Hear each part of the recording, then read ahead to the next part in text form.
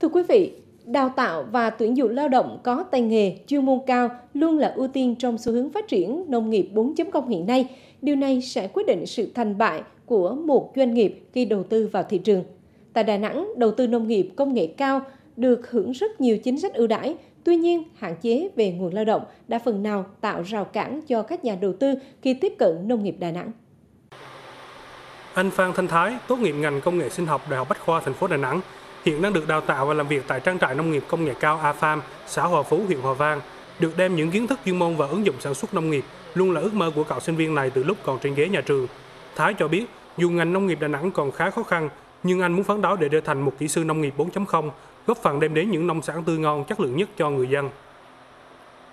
Kiến thức học lý thuyết ở trường thì rất là khác xa với kiến thức thực tế ở bên ngoài nên em muốn à, đi làm sớm, đi à, ra trải nghiệm sớm. Khi mà em biết được à, A-Farm này thì em mong muốn lên đây thì à, muốn học được những cái kỹ thuật từ à, công, các công nghệ từ A-Farm và à, em muốn là khi mà mình học những kiến thức lý thuyết ở dưới trường thì mình sẽ được áp dụng những kiến thức vào trong cái kỹ thuật ở trên A-Farm này.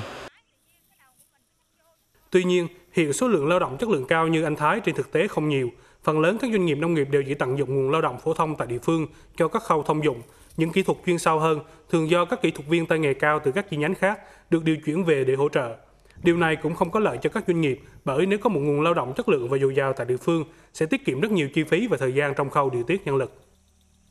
Tức là lao động đây chủ yếu là mình sử dụng nó có hai mảng. Một là lao động ví dụ tay nghề thì cái đấy là nhân viên kỹ thuật thì họ sẽ trực tiếp hướng dẫn. Thế còn lao động phần đa là lao động phổ thông tại địa phương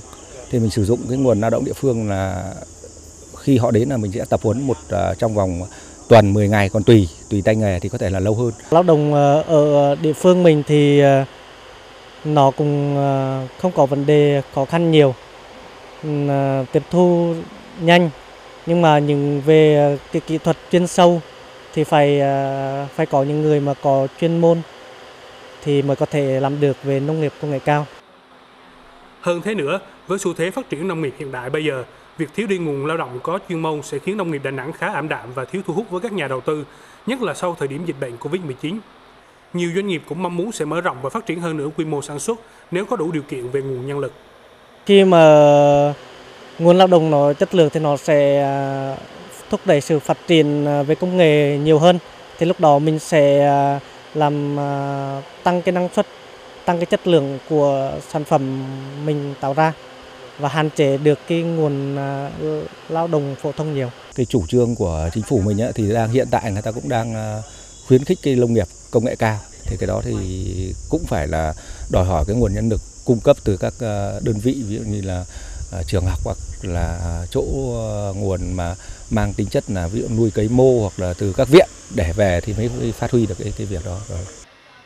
Để làm được điều này, Sở Nông nghiệp và Phát triển Nông thôn Đà Nẵng cho biết, trước hết sẽ phối hợp với các địa phương tổ chức ra soát lại danh mục nghề đào tạo phù hợp với quy hoạch phát triển kinh tế ở địa phương, quy hoạch sản xuất nông nghiệp, quy hoạch xây dựng nông thôn mới và yêu cầu làm nông nghiệp tiên tiến hiện đại gắn với tái cơ cấu ngành nông nghiệp Song song với đó, thời gian tới sẽ tập trung nguồn lực để tổ chức đào tạo nghề cho lao động nông thôn, đạt mục tiêu đề ra, gắn với việc chuyển giao tiến bộ khoa học kỹ thuật tại các mô hình có hiệu quả kinh tế cao, góp phần tạo chuyển biến mới trong nguồn nhân lực, thúc đẩy sự phát triển của nông nghiệp 4.0 trên địa bàn thành phố.